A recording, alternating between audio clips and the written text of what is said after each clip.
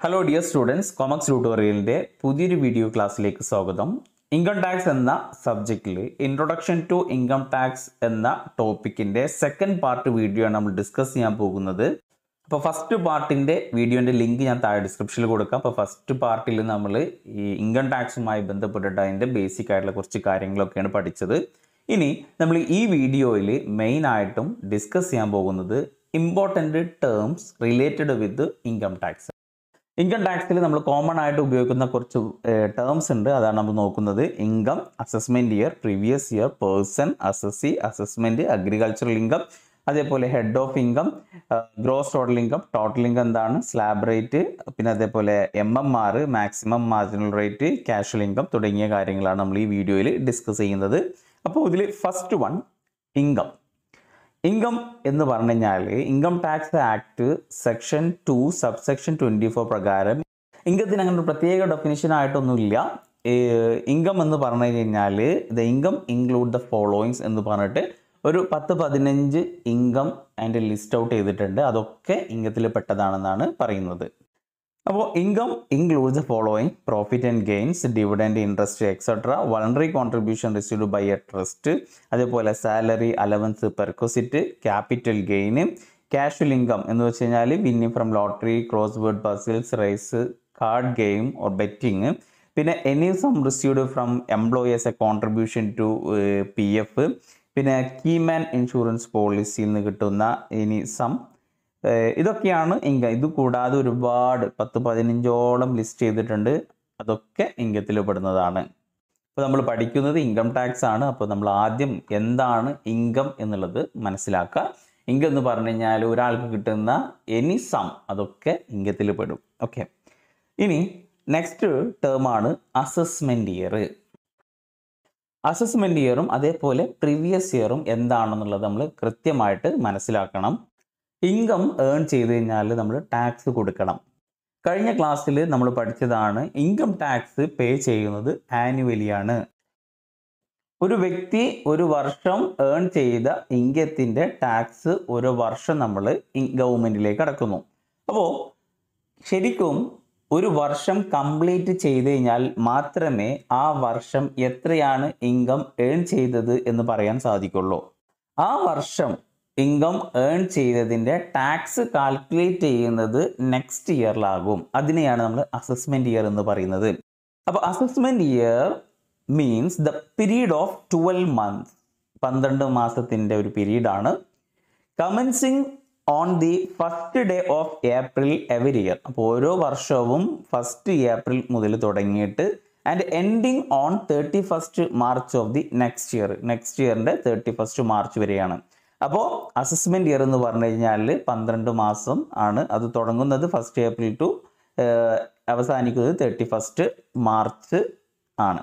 Okay അപ്പോൾ നമ്മുടെ current assessment year എന്ന് പറയുമ്പോൾ two thousand twenty two twenty three ആണ്. എന്ന് വെച്ച് കഴിഞ്ഞാൽ first April two thousand twenty two മുതൽ thirty first March two thousand twenty three വരെയാണ് നമ്മുടെ അസസ്മെന്റ് ഇയർ അപ്പോൾ പ്രീവിയസ് ഇയറിൽ ഇൻകം ഏൺ ചെയ്തതിന്റെ ടാക്സ് കാൽക്കുലേറ്റ് ചെയ്യുന്ന ഇയറിനെയാണ് അസസ്മെന്റ് എന്ന് പറയുന്നത്. അപ്പോൾ നമ്മുടെ പ്രീവിയസ് ഇയർ ഏതാകും? ട്വന്റി വൺ ട്വന്റി ടു അപ്പോൾ two thousand twenty one twenty ടൂയിൽ എന്ന് വെച്ച് കഴിഞ്ഞാൽ first April two thousand twenty one മുതൽ thirty first March two thousand twenty two വരെ ഏൺ ചെയ്ത ഇംഗത്തിന്റെ ടാക്സ് കാൽക്കുലേറ്റ് ചെയ്യുന്ന അസസ് ചെയ്യുന്ന ഇയറിനെയാണ് അസസ്മെന്റ് ഇയർ എന്ന് പറയുന്നത്. ഓക്കെ അപ്പോൾ നമ്മുടെ പ്രീവിയസ് ഇയർ ഏതാണ്? Twenty one twenty two assessment year twenty two twenty three okay അപ്പോൾ ട്വന്റി വൺ ട്വന്റി ടുവിൽ ഇൻകം ഏൺ ചെയ്തതിന് ടാക്സ് കാൽക്കുലേറ്റ് ചെയ്യുന്ന ഇൻകം അസസ് ചെയ്യുന്ന ഇയർ ആണ് അസസ്മെന്റ് ഇയർ അപ്പോൾ അസസ്മെന്റ് ഇയർ എന്ന് പറഞ്ഞു കഴിഞ്ഞാൽ ഇത്രയേ ഉള്ളൂ. പ്രീവിയസ് ഇയറിൽ ഏൺ ചെയ്ത ഇൻകത്തിനെ അസസ്മെന്റ് ചെയ്യുന്ന ഇയർ ആണ് അസസ്മെന്റ് ഇയർ എന്ന് പറയുന്നത്. അപ്പോൾ അസസ്മെന്റ് എന്നുള്ളത് വേർഡിന്റെ മീനിങ് കൊണ്ട് ഉദ്ദേശിക്കുന്നത് ആ പ്രീവിയസ് ഇയറിൽ എത്രയാണോ ഇൻകം ഏൺ ചെയ്തത് അതിന് ടാക്സ് ലാബിലിറ്റിയും ടോട്ടൽ ഇൻകം ഒക്കെ കാൽക്കുലേറ്റ് ചെയ്യുന്ന ആ ഒരു പ്രോസസ്സിനെയാണ് അസസ്മെന്റ് എന്ന് പറയുന്നത്. ഓക്കെ അപ്പോൾ ക്ലിയർ അല്ലേ അസസ്മെന്റ് ഇയർ ഇനി പ്രീവിയസ് ഇയർ പ്രീവിയസ് ഇയർ എന്ന് പറയുമ്പോൾ ഇൻകം ഏൺ ചെയ്ത ഇയർ ആണ് പ്രീവിയസ് ഇയർ അല്ലെങ്കിൽ നമുക്ക് ഇങ്ങനെ പറയാം previous year is the financial year immediately proceeding the relevant assessment year assessment ഇയറിന്റെ തൊട്ട് മുമ്പുള്ള ഇയർ ആണ് പ്രീവിയസ് ഇയർ അപ്പോൾ നമ്മുടെ assessment year twenty two twenty three ആണ്. അപ്പോൾ അതിന്റെ തൊട്ട് മുമ്പുള്ള ഇയർ ഏതാണ്? Two thousand twenty one twenty two അപ്പോൾ നമ്മുടെ കറണ്ട് പ്രീവിയസ് ഇയർ എന്ന് പറയുമ്പോൾ two thousand twenty one twenty two ആണ്. എന്ന് വെച്ച് കഴിഞ്ഞാൽ first April two thousand twenty one മുതൽ thirty first March two thousand twenty two വരെയാണ്. അപ്പോൾ previous year it is the year in which income is earned income earn ചെയ്യുന്ന year ആണ് previous year clear അല്ലേ? അപ്പോൾ two thousand twenty one twenty ടുവിൽ നമ്മൾ income earn ചെയ്ത് കഴിഞ്ഞു. അതിന്റെ ടാക്സ് കാൽക്കുലേറ്റ് ചെയ്യുന്നത് ട്വന്റി ടു ട്വന്റി ത്രീയിലാണ് ഓക്കെ അപ്പോൾ നമ്മൾ പഠിക്കുമ്പോൾ നമ്മളുടെ assessment year twenty two twenty ത്രീയും previous year twenty one twenty two ആയിട്ട് നിങ്ങൾ പഠിക്കുക. ഓക്കെ അപ്പോൾ പ്രീവിയസ് ഇയറിൽ തന്നെ നമ്മൾ എക്സംഷൻ ഉണ്ട്. നമ്മൾ പറഞ്ഞു പ്രീവിയസ് ഇയറിൽ ഇൻകത്തിന് ടാക്സ് കൊടുക്കുന്നത് അല്ലെങ്കിൽ ടാക്സ് കാൽക്കുലേറ്റ് ചെയ്യുന്നത് അസസ്മെന്റ് ഇയറിലാണ് അപ്പോൾ പക്ഷേ ചില കേസിൽ ഇപ്പോൾ ഞാൻ കേസ് ഇവിടെ ഒന്ന് ജസ്റ്റ് ഒന്ന് പറയാം. Income from non resident from shipping business അപ്പോൾ ഈ ഷിപ്പിംഗ് ബിസിനസ് എന്ന് പറഞ്ഞു കഴിഞ്ഞാൽ അവർ കുറച്ച് കാലം ഇന്ത്യയിൽ ഉണ്ടാകും പിന്നെ വേറെ ഏതെങ്കിലും രാജ്യത്താകും. അങ്ങനെ ലോകത്തിന്റെ പല ഭാഗത്തും ബിസിനസ് ചെയ്യുന്നവരാണ് ഷിപ്പ് ഷിപ്പിലുമായി ബന്ധപ്പെട്ടുള്ള ബിസിനസ് അപ്പം അങ്ങനെ ഉള്ള ഷിപ്പിംഗ് ബിസിനസ് ചെയ്യുന്ന നോൺ റെസിഡന്റ് ഉണ്ടെങ്കിൽ അവർ ആ വർഷം എത്രയാണോ ഇൻകം ഏൺ ചെയ്തത് അതിന് ആ വർഷം തന്നെ ടാക്സ് കൊടുക്കണം. എന്ന് വെച്ച് കഴിഞ്ഞാൽ പ്രീവിയസ് ഇയറിൽ ഇൻകം ഏൺ ചെയ്ത ഇയറിൽ ആ വർഷം തന്നെ എന്ത് ചെയ്യണം? ടാക്സ് കൊടുക്കണം. അപ്പോൾ ഒന്ന് പറഞ്ഞു income from non resident from shipping business ഇനി രണ്ടാമത്തത് income of person leaving India India വിട്ടിട്ട് പെർമനന്റ് ആയിട്ട് ഇന്ത്യ വിട്ട് പോവാണ്. ഇനി തിരിച്ചു വരില്ല എന്ന ഉദ്ദേശത്തോട് കൂടിയിട്ടാണ് ഇന്ത്യ വിട്ട് പോകുന്നത്. വേറെ ഏതെങ്കിലും രാജ്യത്ത് സെറ്റിൽ ആവാൻ വേണ്ടിയിട്ട് പോകുന്നവരൊക്കെ ഉണ്ടാകും. അങ്ങനെയുള്ളവർ ആ വർഷം ഇന്ത്യയിൽ ആ വർഷം എത്രയാണോ ഇൻകം ഏൺ ചെയ്തത് അതിന് ടാക്സ് കൊടുത്തിട്ടേ പോകാൻ പാടുള്ളൂ. ഓക്കെ അപ്പോൾ രണ്ടാമത്തെ കേസ് പറഞ്ഞു income of person leaving India. ഇനി മൂന്നാമത്തത് income of person likely to transfer asset to avoid tax ഇപ്പം ടാക്സ് അവോയ്ഡ് ചെയ്യാൻ വേണ്ടിയിട്ട് അസെറ്റ് ട്രാൻസ്ഫർ ചെയ്യുന്ന വ്യക്തികൾ അവർക്കും ആ വർഷം തന്നെ ടാക്സ് കൊടുക്കണം. ഇനി നാലാമത്തെ കേസാണ് income of a discontinued business or profession or vocation അപ്പോൾ ഒരു പ്രീവിയസ് ഇയറിന്റെ ഇടയിൽ ഒരു ബിസിനസ് ഡിസ്കണ്ടിന്യൂ ചെയ്തു. അത് സ്റ്റോപ്പ് ചെയ്തു. അപ്പോൾ അങ്ങനെയാണെന്നുണ്ടെങ്കിൽ ആ ബിസിനസ്സിന്റെ ഇൻകത്തിന് എത്രയാണോ ആ ബിസിനസ് അതുവരെ ഇൻകം ഏൺ ചെയ്തത് അതിന് ആ വർഷം തന്നെ ടാക്സ് കൊടുക്കണം. അപ്പോൾ ഈ നാല് സിറ്റുവേഷനിലും പ്രീവിയസ് ഇയറിലെ ഇൻകത്തിന് പ്രീവിയസ് ഇയറിൽ തന്നെ ടാക്സ് കൊടുക്കണം. അപ്പം നോർമലി നമ്മൾ പ്രീവിയസ് ഇയറിലെ ഇൻകത്തിന് അസസ്മെന്റ് ഇയറിലാണ് ടാക്സ് കൊടുക്കേണ്ടത്. ബട്ട് എക്സെപ്ഷൻ ഈ നാല് കേസ് നമ്മൾ പറഞ്ഞു അതിന് പ്രീവിയസ് ഇയറിലെ ഇൻകത്തിന് പ്രീവിയസ് ഇയറിൽ തന്നെ ടാക്സ് കൊടുക്കണം. ഓക്കെ ഇനി in case of newly setup business or profession or any other new source of income during the financial year ഇപ്പോൾ പ്രീവിയസ് ഇയർ എന്ന് പറയുമ്പോൾ ഒരു ട്വൽവ് മന്ത്സ് ആവണം നിർബന്ധമില്ല. Previous year start from the date of setting up of a new business of profession ഇപ്പോൾ നമ്മൾ പറഞ്ഞു person എന്ന് പറയുമ്പോൾ അതിൽ ഇൻഡിവിജ്വൽ പെടും എച്ച് യു എഫ് കമ്പനി ഇതൊക്കെ പേഴ്സണിന് പെട്ടതാണ്. അപ്പോൾ ഒരു പേഴ്സൺ ആണ് കമ്പനി ഒരു പേഴ്സൺ ആണ്. ആ കമ്പനി സ്റ്റാർട്ട് ചെയ്തത് ആ ഒരു പ്രീവിയസ് ഇയറിൽ പകുതിയോട് വരിക. അത്തരം കേസിൽ എന്നാണോ സ്റ്റാർട്ട് ചെയ്തത്? അന്ന് മുതലാണ് പ്രീവിയസ് ഇയർ തുടങ്ങുക. Okay for example mister X started a business on seventh September two thousand twenty one in this case previous year from seventh September two thousand twenty one to thirty first March two thousand twenty two വരെയാണ്. Okay അപ്പോൾ business തുടങ്ങിയത് seventh September ആണ്. അപ്പോൾ അത് അതുകൊണ്ട് previous year seventh September two thousand twenty one to thirty first March two thousand twenty two വരെയാണ്. Okay ഇനി ഒരു മറ്റൊരു കേസ് പറയുന്നത് mister A was appointed as an accountant in a company on ഒന്ന് എട്ട് രണ്ടായിരത്തി ഇരുപത്തൊന്ന് അപ്പോൾ ആ കേസിൽ പ്രീവിയസ് ഇയർ എന്ന് പറയുമ്പോൾ ഒന്ന് എട്ട് രണ്ടായിരത്തി ഇരുപത്തൊന്ന് മുതൽ thirty first March two thousand twenty two വരെയാണ്. ഓക്കെ ക്ലിയർ ആയിട്ടുണ്ടാവും എന്ന് വിചാരിക്കുന്നു. അസസ്മെന്റ് ഇയർ പ്രീവിയസ് ഇയർ രണ്ട് കൺസെപ്റ്റും ആ രണ്ട് ടേമും ക്ലിയർ ആയിട്ട് മനസ്സിലാക്കണം. ഓക്കെ അപ്പോൾ അതുകൊണ്ട് തന്നെ നമ്മൾ ഓൾറെഡി പറഞ്ഞു പ്രീവിയസ് ഇയർ എന്നുള്ളത് പന്ത്രണ്ട് മാസത്തേക്കാൾ കുറവാകാം.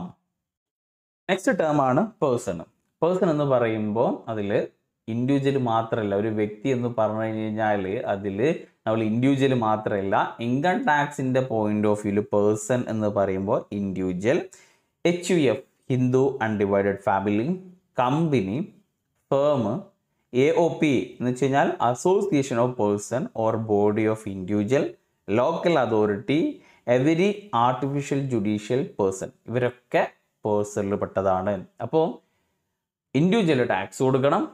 ഓക്കെ അതേപോലെ എച്ച് യു എഫും കമ്പനി ഫേമും ഇവരെല്ലാവരും ടാക്സ് കൊടുക്കണം. അപ്പോൾ ഇൻകം ടാക്സിന്റെ പോയിന്റ് ഓഫ് വ്യൂവിൽ പേഴ്സൺ എന്ന് പറഞ്ഞു കഴിഞ്ഞാൽ ഇവരെല്ലാവരും പേഴ്സണിൽ പെടും. ഇവർക്ക് ഓരോരുത്തർക്കും അവരുടേതായിട്ടുള്ള രീതിയിലാകും ടാക്സ് റേറ്റും കാര്യങ്ങളൊക്കെ ഉണ്ടാവുക. പക്ഷേ ഈ എല്ലാ ഏഴ് പേഴ്സണിനും ഈ പറഞ്ഞിട്ടുള്ള ഡിഫറെന്റ് ഹെഡ്സ് ഓഫ് ഇൻകം ഉണ്ടാകും. അതിൽ ഇൻഡിവിജ്വലിന്റെ കേസ് ആണെന്നുണ്ടെങ്കിൽ സാലറി മറ്റുള്ളവർക്ക് സാലറി ഒന്നും ഉണ്ടാവില്ല. ബാക്കി നാല് ഹെഡ്സേ ഉണ്ടാവുകയുള്ളൂ.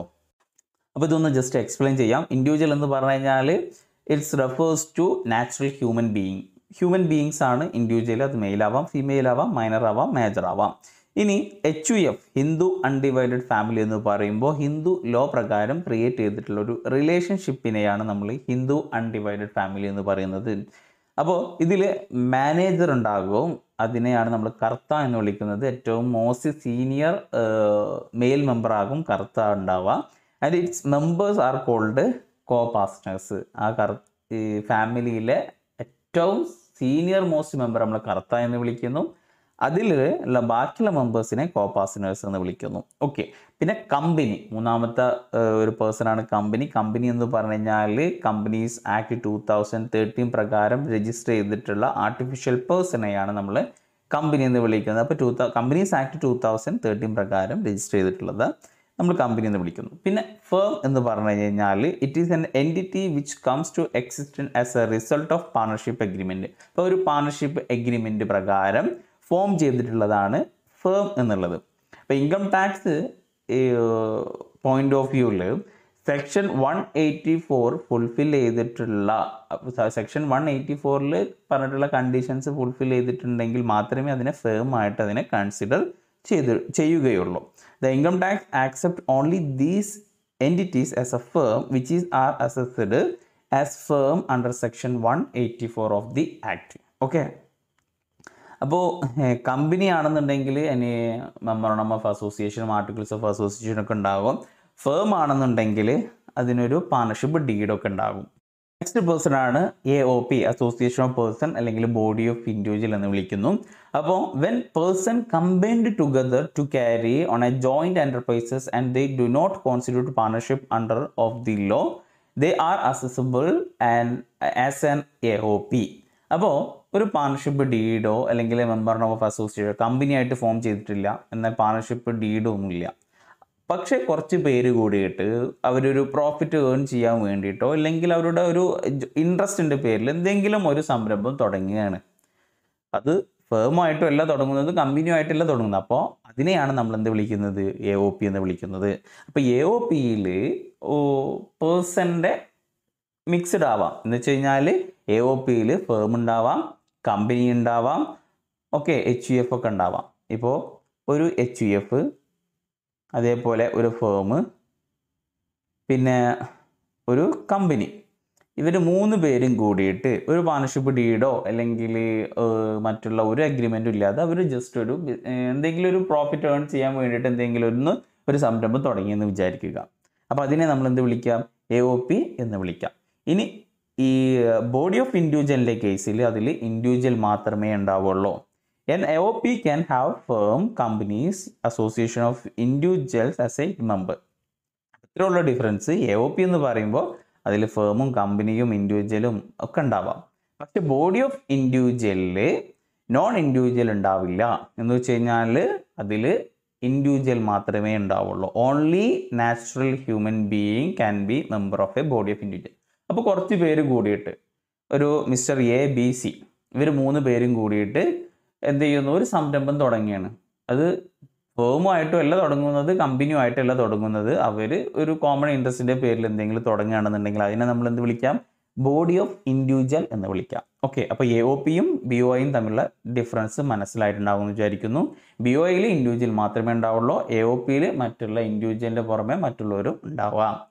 Next local authority local authority എന്ന് പറയുമ്പോൾ municipality panchayat cantonment board port port trust ഇവരൊക്കെയാണ് നമ്മൾ ലോക്കൽ അതോറിറ്റിയിൽ പെടുത്തുന്നത്. ആർട്ടിഫിഷ്യൽ ജുഡീഷ്യൽ പേഴ്സൺ എന്ന് വെച്ച് കഴിഞ്ഞാൽ ഇപ്പോൾ statutory corporation like life insurance corporation university temple mosque ഇവരൊക്കെയാണ് നമ്മൾ ആർട്ടിഫിഷ്യൽ ജുഡീഷ്യൽ പേഴ്സണിൽ പെടും. അപ്പോൾ ആരൊക്കെയാണ് പേഴ്സൺ എന്താണ് ഈ ഈ പേഴ്സൺസ് എന്നുള്ളതും നിങ്ങൾക്ക് മനസ്സിലായിട്ടുണ്ടാകും. അപ്പോൾ ഈ പേഴ്സൺ എന്തായാലും പഠിക്കുക. ഏഴ് ആൾക്കാരുണ്ട് അല്ലേ? Individual H U F firm company then A O P O B O local authority artificial judicial person clear ചിലപ്പോൾ എക്സാമിന് ചോദിക്കും കുറച്ച് പേഴ്സൺസിന്റെ ലിസ്റ്റ് തരും എന്നിട്ട് അത് ഏതാണ് ആരാണ് എന്നുള്ളത് ചിലപ്പോൾ ഐഡന്റിഫൈ ചെയ്യാൻ വേണ്ടിയിട്ട് ചോദിക്കും. അപ്പോൾ കാലിക്കറ്റ് യൂണിവേഴ്സിറ്റി അതെന്താണ്? ഒരു ആർട്ടിഫിഷ്യൽ ജുഡീഷ്യൽ പേഴ്സൺ ആണ് അല്ലേ? Okay artificial judicial person then Microsoft limited കമ്പനിയാണ്. നമുക്കറിയാം. പിന്നെ എന്താണ് ഡൽഹി മുനിസിപ്പൽ കോർപ്പറേഷൻ അത് ലോക്കൽ അതോറിറ്റിയാണ്. സ്വയം എഡ്യൂക്കേഷൻ പ്രൈവറ്റ് ലിമിറ്റഡ്. അപ്പോൾ അതെന്താണ്? ഒരു പ്രൈവറ്റ് ലിമിറ്റഡ് ആണ് അപ്പോൾ അതെന്താകും? കമ്പനിയാകും. Federal bank limited കമ്പനിയാകും. A B C group of housing cooperative society. A O P B O A O P or B ഒയിൽ പെടുത്താം.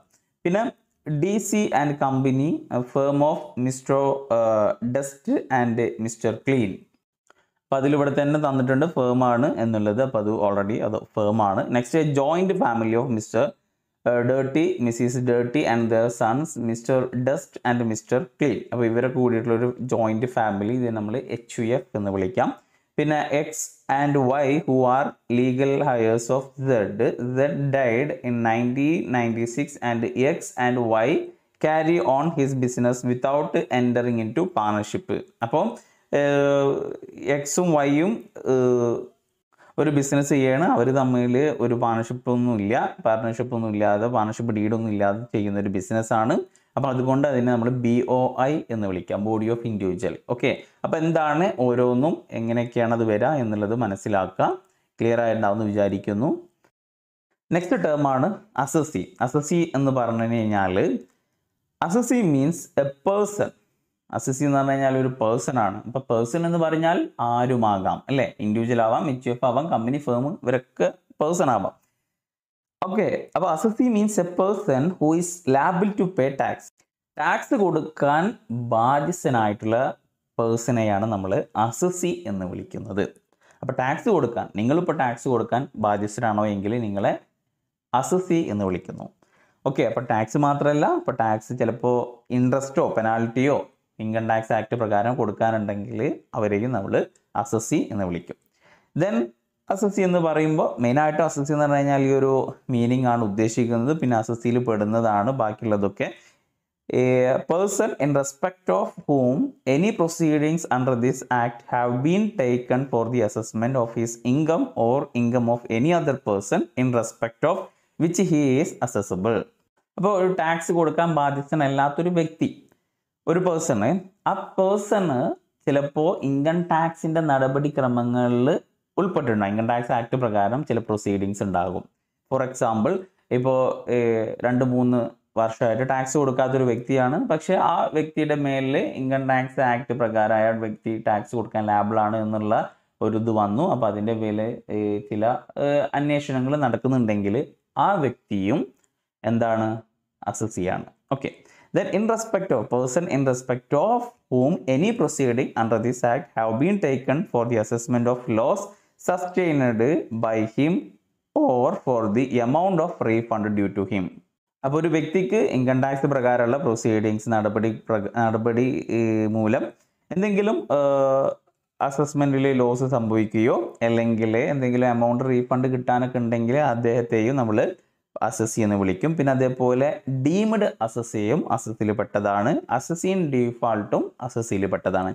അപ്പോൾ ഇവർ അഞ്ചും അസസിയിൽ പെട്ടതാണ്. അപ്പോൾ ചുരുക്കി പറഞ്ഞു കഴിഞ്ഞാൽ അസസി എന്ന് പറഞ്ഞു കഴിഞ്ഞാൽ An assessee is a person who pay tax or any sum of money under the provision of Income Tax Act 1961. ഇപ്പോൾ നയന്റീൻ സിക്സ്റ്റി വൺ പ്രകാരം ടാക്സ് കൊടുക്കാൻ ലാബിളായിട്ടുള്ള വ്യക്തിയാണ് നമ്മൾ അസസി എന്ന് വിളിക്കുന്നത്. The term assessee covers everyone who has been assessed for his income okay അതേപോലെ the income of another person for which he is assessable or the profit or loss he has sustained അപ്പോൾ ഒരു വ്യക്തിക്ക് income ഉണ്ട്. ആ ഇൻകത്തിനനുസരിച്ച് tax കൊടുക്കാണ്ടെങ്കിലും അയാൾ assessee വിളിക്കും. ചില സമയത്ത് ആ വ്യക്തിയുടെ ഇങ്കല്ലാത്ത വേറെ വ്യക്തിയുടെ ഇംഗത്തിനും ചിലപ്പോൾ ആ വ്യക്തി ടാക്സ് കൊടുക്കേണ്ടി വരും. അദ്ദേഹത്തേക്ക് നമ്മൾ അസസ്സി എന്ന് വിളിക്കും. അപ്പോൾ നമ്മൾ അങ്ങോട്ട് പറയുന്നുണ്ട് ഡീംഡ് അസസ്സി എന്ന് പറഞ്ഞു കഴിഞ്ഞാൽ എന്താണ്? ഡീംഡ് അസസ്സി ഇമ്പോർട്ടന്റ് ആണ്. മൂന്ന് മാർക്കിന്റെ ക്വസ്റ്റ്യൻസ് ഷോർട്ട് ക്വസ്റ്റ്യൻ ആയിട്ടൊക്കെ എക്സാമിന് ചോദിക്കാറുണ്ട്. അപ്പോൾ ഡീംഡ് അസസ്സി എന്ന് പറഞ്ഞു കഴിഞ്ഞാൽ a person who is bound to pay tax in respect of income of another one called deemed assessee അപ്പോൾ സ്വന്തം ഇൻകത്തിന്റെ മേലല്ല വേറൊരാളുടെ ഇൻകത്തിന് ഒരാൾ ടാക്സ് കൊടുക്കാൻ ലാബിളാണെന്നുണ്ടെങ്കിൽ അദ്ദേഹത്തെ ഡീംഡ് അസസ്സി എന്ന് വിളിക്കുന്നു.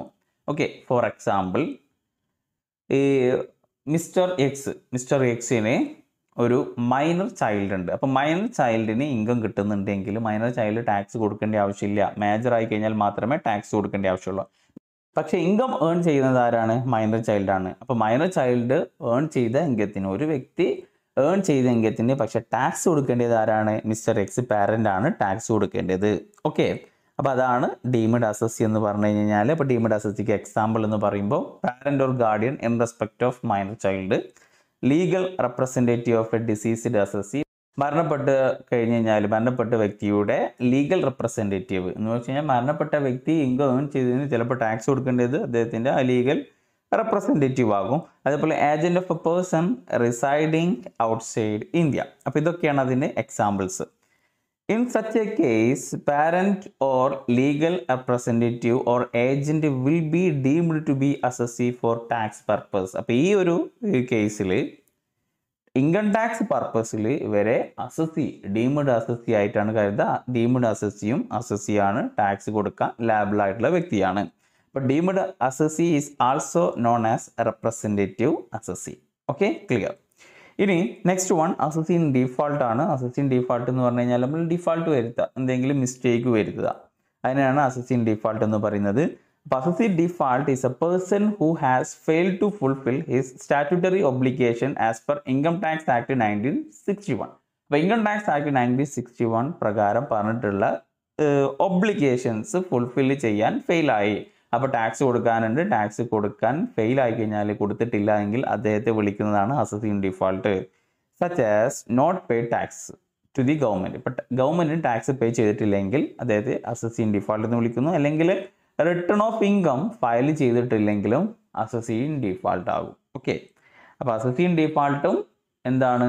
ഒരു അസസിയാണ് for example an employer is liable to deduct T D S എന്ന് വെച്ച് കഴിഞ്ഞാൽ സാലറി കൊടുക്കുമ്പോൾ ടി ഡി എസ് പിടിച്ചതിന് ശേഷം മാത്രമേ സാലറി കൊടുക്കാൻ പാടുള്ളൂ ചില കേസിൽ ഓക്കെ അപ്പോൾ employer is liable to deduct tax at source employer T D S പിടിക്കാൻ ലാബിളാണ് പിടിക്കേണ്ടതാണ് സാലറി കൊടുക്കുമ്പോൾ പക്ഷേ he he fail to do that is an assessee in default അപ്പോൾ എംപ്ലോയർ ആ tax T D S cut ചെയ്യാൻ പിടിക്കാൻ മറന്നു എങ്കിൽ അപ്പോൾ ആ എംപ്ലോയർ എന്താകും? അസിൻ ഡിഫാൾട്ട് ആകും. Okay next one assessment assessment എന്ന് പറഞ്ഞു കഴിഞ്ഞാൽ the process of examining the return of income by the income tax department അപ്പോൾ ഇൻകം ടാക്സ് ഡിപ്പാർട്ട്മെന്റ് നമ്മളുടെ റിട്ടേൺ ഓഫ് ഇൻകം എക്സാമിൻ ചെയ്യുന്ന പ്രോസസ്സിനെയാണ് അസസ്മെന്റ് എന്ന് പറയുന്നത്. റിട്ടേൺ ഓഫ് ഇൻകം എന്ന് പറഞ്ഞു കഴിഞ്ഞാൽ നമുക്ക് ഇന്ന രീതിയിലുള്ള ഇൻകൊക്കെ ഉണ്ട് എന്ന് പറഞ്ഞിട്ട് നമ്മളൊരു റിട്ടേൺ ഫയൽ ചെയ്യും. അത് എക്സാമിൻ ചെയ്യുന്ന പ്രോസസ്സിനെയാണ് അസസ്മെന്റ് എന്ന് പറയുന്നത്. അപ്പോൾ assessment include the following as per the section one forty four അപ്പോൾ വേരിയസ് ടൈപ്സ് ഓഫ് അസസ്മെന്റിന്റെ ക്ലാസ് ഒക്കെ നമ്മൾ ഓൾറെഡി എടുത്തതാണ്. എന്റെ ചാനലിൽ അത് അപ്ലോഡ് ചെയ്തിട്ടുണ്ട്. നിങ്ങൾക്ക് പ്ലേലിസ്റ്റിൽ പോയി സന്ദർശിച്ചാൽ കിട്ടുന്നതാണ്. ഓക്കെ അപ്പോൾ ഇതൊരു തിയറി ആയിട്ട് ഒരു ചാപ്റ്റർ ഒക്കെ വരുന്നുണ്ട്. അപ്പോൾ അത് നമ്മൾ അപ്പോൾ ഡിസ്കസ് ചെയ്യും. ഓക്കെ അപ്പോൾ എന്താണ് അസസ്മെന്റ് എന്നുള്ളത് മനസ്സിലായിട്ടുണ്ട്. ഇനി നെക്സ്റ്റ് ഹെഡ് ഓഫ് ഇൻകം അപ്പോൾ ഒരു വ്യക്തിക്ക് ഒരു പേഴ്സണിന് ഇൻകം കിട്ടുകയാണെന്നുണ്ടെങ്കിൽ ആ ഇൻകത്തെ നമ്മൾ അഞ്ചായിട്ട് ക്ലാസിഫൈ ചെയ്യുന്നു. നമ്മൾ ഓൾറെഡി പറഞ്ഞിട്ടുള്ള തന്നെയാണ് അതിൽ ഫസ്റ്റ് ഇൻകം ഫ്രം സാലറി എന്ന് വെച്ച് കഴിഞ്ഞാൽ ഒരു എംപ്ലോയർ എംപ്ലോയിക്ക് എന്ത് കൊടുത്തു അതൊക്കെ ഇൻകം ഫ്രം സാലറി എന്ന ഹെഡിന് അണ്ടറിൽ വരും. Next income from house property അപ്പോൾ ബിൽഡിങ് റെന്റ് കൊടുത്തിട്ട് കിട്ടുന്ന ആ റെന്റൽ ഇൻകമാണ് ഇൻകം ഫ്രം ഹൗസ് പ്രോപ്പർട്ടിന്റെ അണ്ടറിൽ വരിക. Next profit and gain of business of profession business ചെയ്തിട്ടോ അല്ലെങ്കിൽ പ്രൊഫഷനിലൂടെ കിട്ടുന്ന പ്രോഫിറ്റ് ആൻഡ് ഗെയിന് അത് പി ജി ബി പിന്നെ അണ്ടറിൽ വരും. ക്യാപിറ്റൽ ഗെയിന് ക്യാപിറ്റൽ അസറ്റ് വിറ്റാൽ കിട്ടുന്ന ലാഭം. ഇപ്പോൾ ഗോൾഡ് വിറ്റാൽ കിട്ടുന്ന ലാഭം അതേപോലെ സ്ഥലം വെക്കുമ്പോൾ കിട്ടുന്ന ലാഭം. ഇതൊക്കെയാണ് ക്യാപിറ്റൽ ഗെയിനിൽ വരിക ഇതിലൊന്നും പെടാത്തത് ഇൻകം ഫ്രം അതർ സോഴ്സിൽ പെടും. ഓക്കെ അപ്പോൾ ഒരു വ്യക്തിക്ക് ഇൻകം കിട്ടണമെന്നുണ്ടെങ്കിൽ ഇത് ഏതെങ്കിലും ഒരു അഞ്ച് ഹെഡിന്റെ അണ്ടറിൽ ഏതെങ്കിലും ഒരു ഹെഡിൽ വരും. ഓക്കെ നെക്സ്റ്റ് ടേം ആണ് ഗ്രോസ് ടോട്ടൽ ഇൻകം അഥവാ ജി ടി ഐ അപ്പോൾ ജി ടി എന്ന് പറയുമ്പോൾ ഈ ഫൈവ് ഹെഡ്സും കൂടി ടോട്ടൽ ചെയ്യും.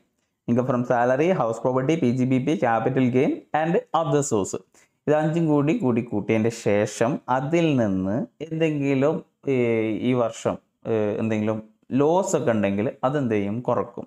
അങ്ങനെ ആ കുറച്ച് കിട്ടി കുറച്ച് കഴിഞ്ഞാൽ കിട്ടുന്ന ആ എമൗണ്ടിനെയാണ് നമ്മൾ എന്ത് പറയുന്നത്? ഗ്രോസ് ടോട്ടൽ ഇൻകം എന്ന് പറയുന്നത്. ഓക്കെ അപ്പോൾ ജി ടി ഐ നോർമലി നമുക്ക് അഞ്ച് ഹെഡും കൂടി കൂട്ടിക്കഴിഞ്ഞ് കഴിഞ്ഞാൽ എന്ത് കിട്ടും? ജി ടി ഐ കിട്ടും. ഇനി ടോട്ടൽ ഇൻകം എന്താണെന്ന് നോക്കാം. ടോട്ടൽ ഇൻകം എന്ന് പറഞ്ഞു കഴിഞ്ഞാൽ ഈ ഗ്രോസ് ടോട്ടൽ ഇൻകത്തിൽ നിന്ന് ജി ടി ഐയിൽ നിന്ന് section eighty C to eighty U വരെയുള്ള ഡിഡക്ഷൻസ് ഉണ്ട്. അത് ലെസ് ചെയ്ത് കഴിഞ്ഞാൽ കിട്ടുന്നതാണ് total income gross total income as reduced by the deduction under chapter six A of the income tax act is called total income അപ്പോൾ chapter six എയിൽ പറഞ്ഞിട്ടുള്ളത് section eighty C to eighty U വരെയുള്ളതാണ്. അപ്പോൾ section eighty C to eighty U വരെയുള്ള deductions gross total ഇൻകിൽ നിന്ന് gross total ഇൻകത്തിൽ നിന്ന് കുറച്ച് കഴിഞ്ഞാൽ കിട്ടുന്നതാണ് ഇത് ടോട്ടൽ ഇൻകം ഓക്കെ അപ്പോൾ ടോട്ടൽ ഇൻകം എന്ന് പറയുമ്പോൾ gross total income minus deduction under section eighty C to eighty U അപ്പോൾ ഈ ടോട്ടൽ ഇൻകത്തിന്റെ മേലാണ് നമ്മൾ ടാക്സ് കാൽക്കുലേറ്റ് ചെയ്തിട്ട് ടാക്സ് കൊടുക്കുന്നത്. അപ്പോൾ total income is the income on which income tax is calculated അപ്പോൾ നമ്മളൊരു പെർസെന്റേജ് വെച്ചിട്ട് സ്ലാബ് റേറ്റ് ഒക്കെ വെച്ചിട്ട് നമ്മൾ ടാക്സ് കാൽക്കുലേറ്റ് ചെയ്യും. അത് ഏത് എമൗണ്ട് മേലാണ്? ടോട്ടൽ ഇൻകത്തിന് മേലാണ്.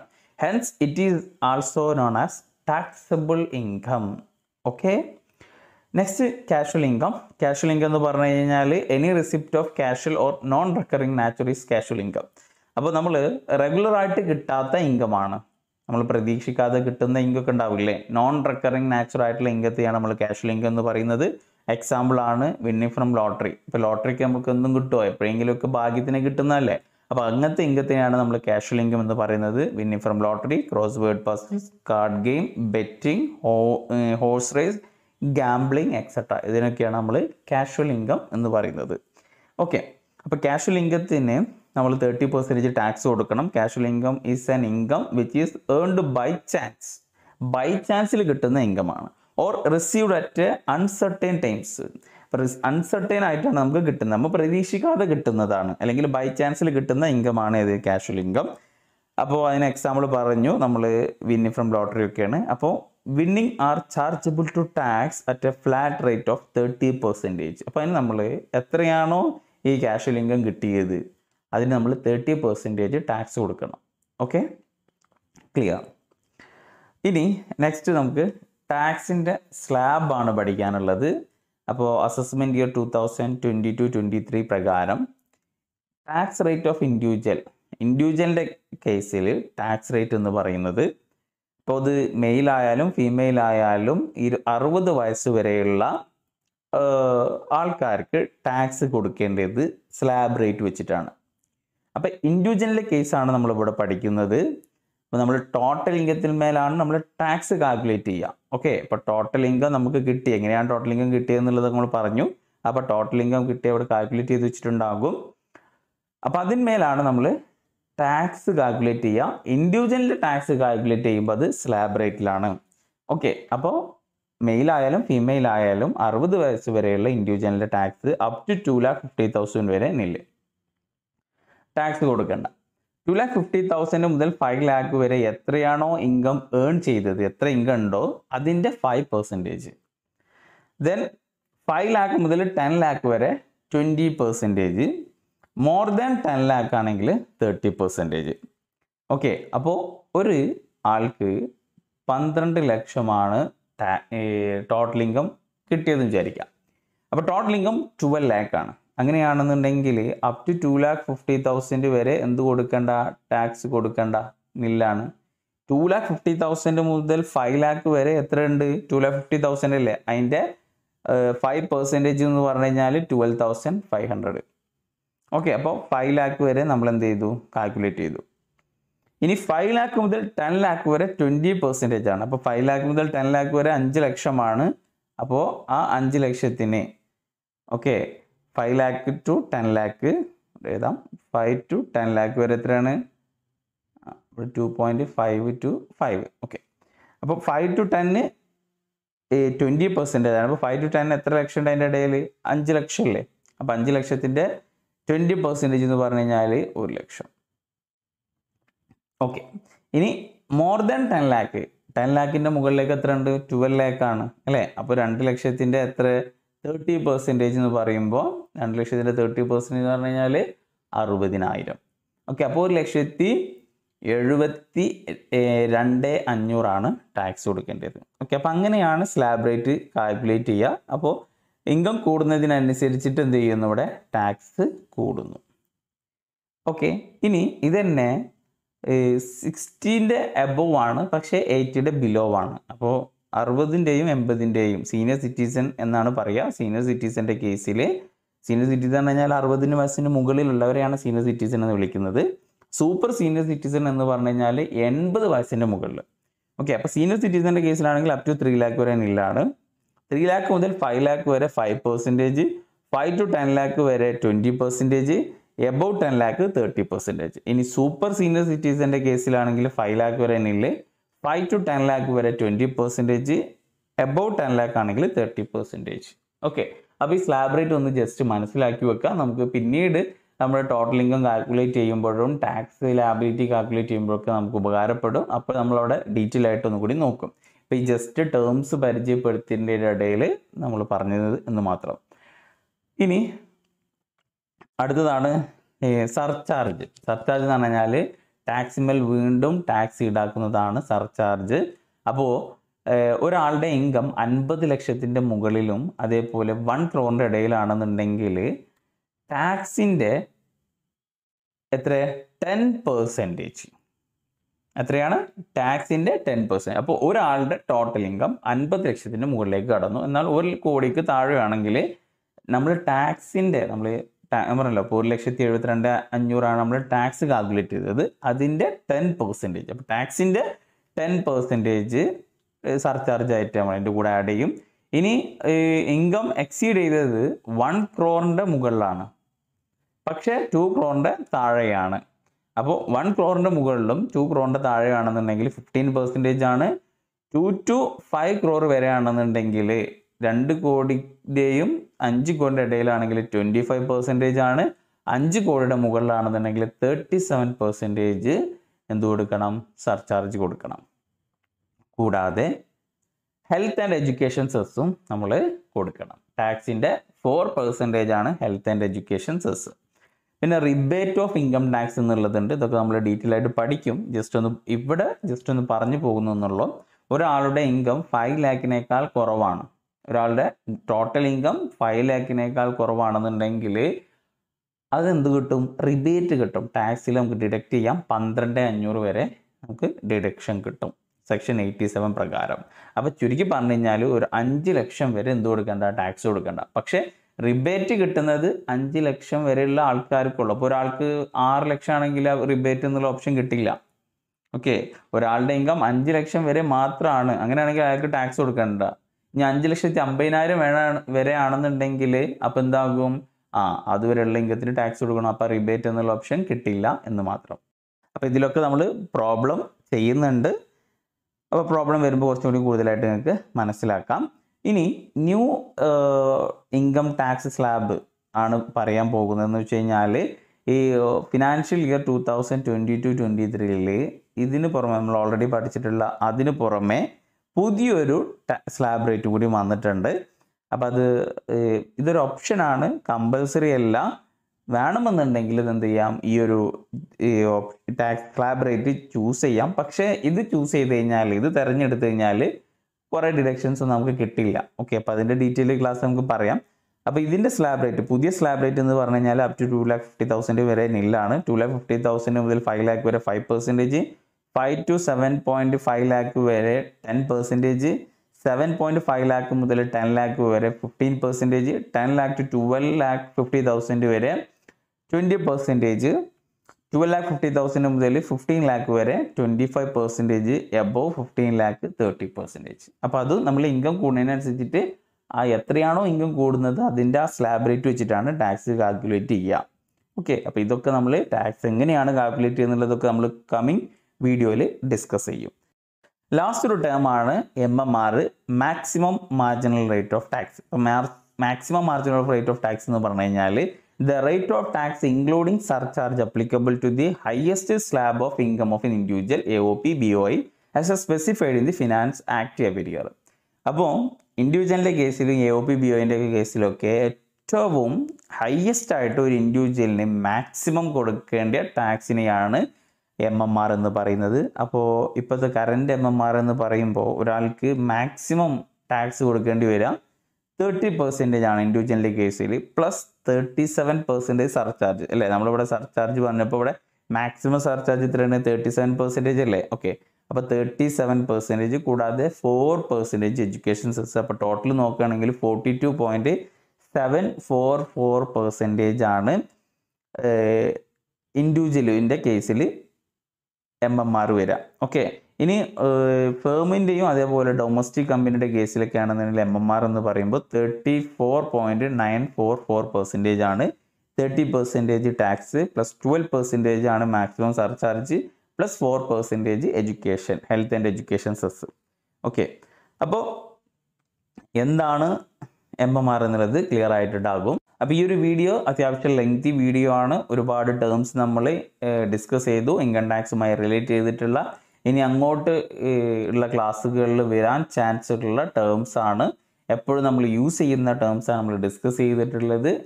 എന്തെങ്കിലും ഡൗട്ട് ഉണ്ടെങ്കിൽ നിങ്ങൾ കമന്റായിട്ട് ചോദിക്കുക. നിർബന്ധം തീർച്ചയായിട്ടും അതിന് റിപ്ലൈ തന്നിരിക്കുന്നതാണ്. പിന്നെ ഈ വീഡിയോ ക്ലാസ് നിങ്ങൾക്ക് ഉപകാരപ്രദമാവുകയാണെന്നുണ്ടെങ്കിൽ നിങ്ങളുടെ കൂട്ടുകാരിലേക്ക് ഷെയർ ചെയ്യുക.